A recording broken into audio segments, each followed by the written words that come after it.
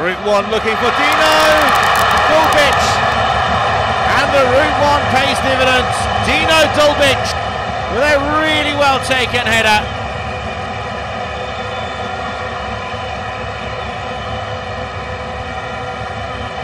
Six foot five, and his fifth goal.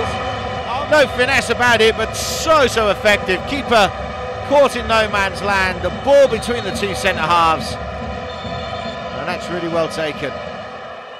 Enjoying a decent bit of possession. Not really converting that into chances. Here's a great chance though, what an equaliser that is! Tianjin Teda draw level and Du Zhenyu makes it 1-1. They'd had the possession. It was the first potent question they'd asked. Wasn't picked up. He arrived late.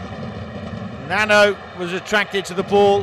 The fullback didn't follow him in, and he's unchallenged.